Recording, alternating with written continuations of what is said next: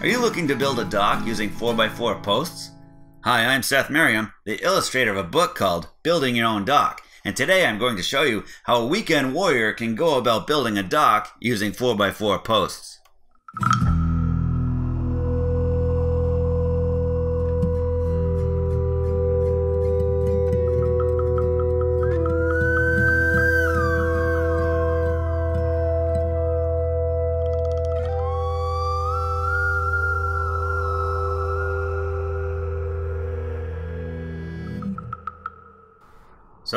You're going to need some of these parts. The 4x4 post feet, 4x4 brace clamps, J-brackets for connecting sections, the adjustable 4x4 post brackets,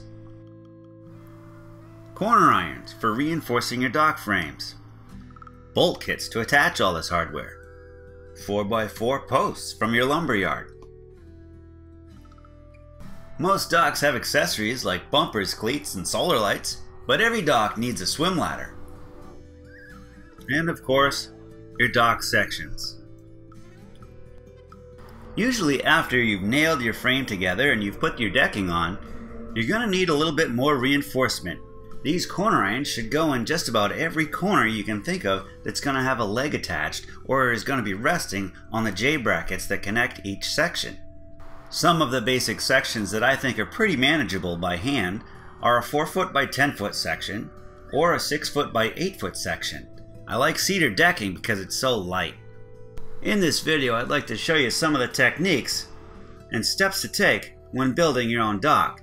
Some of them I learned by trial and error, and some of them are just common sense. So let's get started. Your first dock section is much like a table. It's a building platform that other dock sections can be attached to. So my first section here is going to butt up against the stone wall.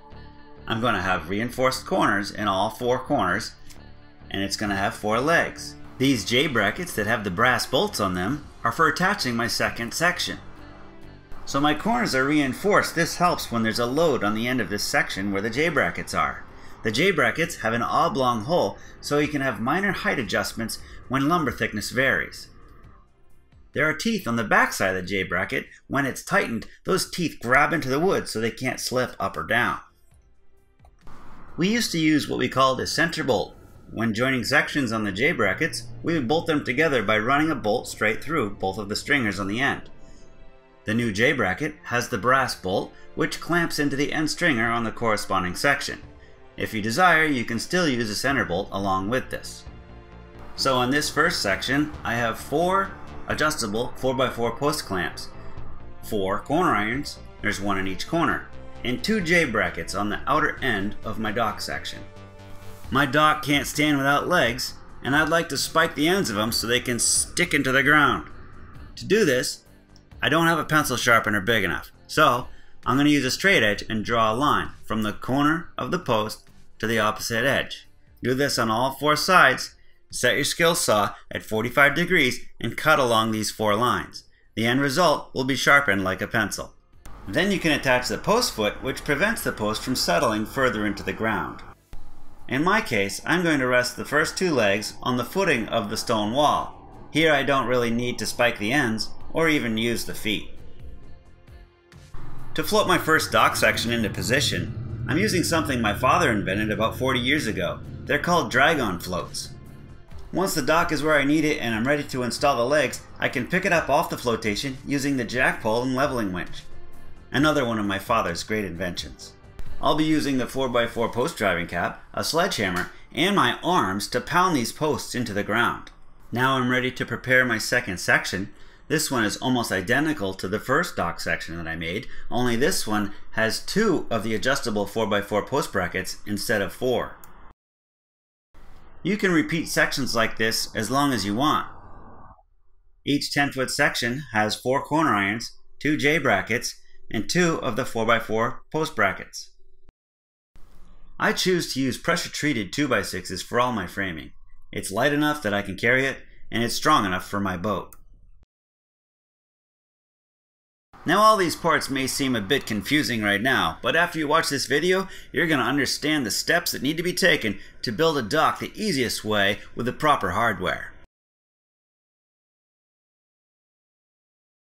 Now because the wood floats, I don't need the flotation to get my second section into position. I'm just going to pick one end up and hook it on the J-brackets. Then I'm going to use my leveling winch to pick up the outer end.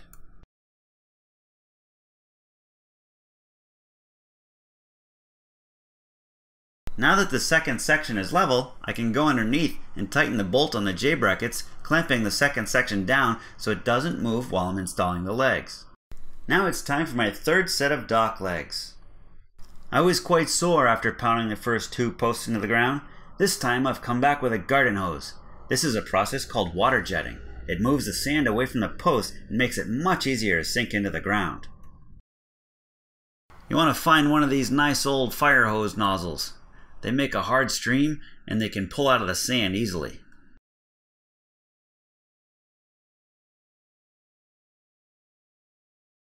This is one of the best ways I've found to stay cool yet productive on a hot summer day. My next section is the 6x8. This is where all the fun happens. I can have a swim ladder, lay out on a towel, bring out a lawn chair, or even the blender and make some smoothies. Mounting all this hardware is quite easy. We're using 3 8 bolts, so use a 3 8 drill bit.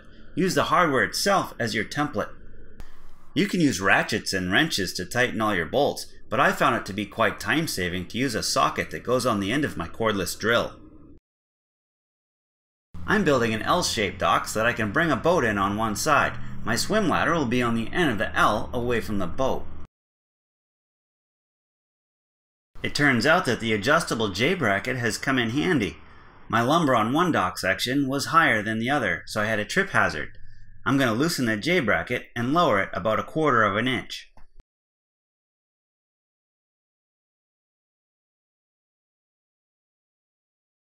Once the posts are installed nice and level and the foot is on the ground, it's time to come up above and adjust the 4x4 post brackets so each dock section is level. Once the legs are driven into the ground and the dock is level, you can go around and cut all the posts and make them all even. No, I didn't really cut all those with a handsaw. And hang on, I gotta get bumpers installed before you can bring your boat in. These Guardian bumpers are 3 feet long. They're very easy to attach. Three evenly spaced holes hide fasteners from objects that may rub up against the Guardian. The tapered ends are to allow dock lines and other objects to slide by freely. The Guardian's ribbed backside and curvature provide extra strength for bumping. The tapered ends are to allow dock lines and other objects to slide by freely. The Guardian can only make things better. It might look nice now, but it's not done. The 4x4 adjustable post clamp allows you to attach 2x4s as cross braces. Using a month-old chocolate chip cookie, you can draw a half circle to be cut out at the end of your 2x4 cross braces. This will keep people and other things from getting caught on sharp edges. To determine the length of your 2x4 cross brace, you can carry one 2x4 out into the water and run it diagonally from one leg to the other. Keep in mind the carriage bolt that passes through the 2x4 should be on the inside of these dock legs.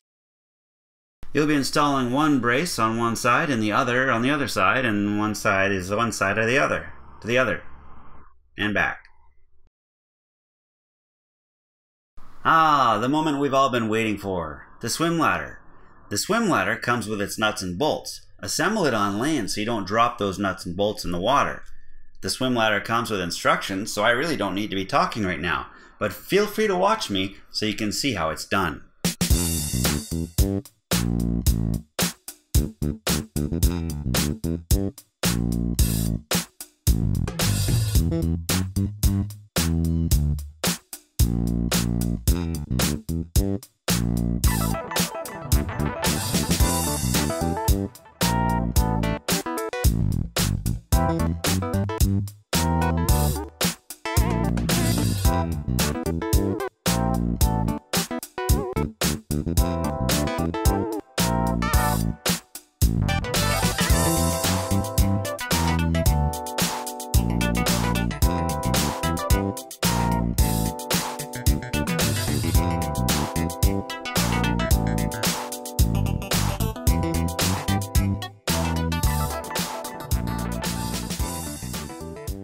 Still watching?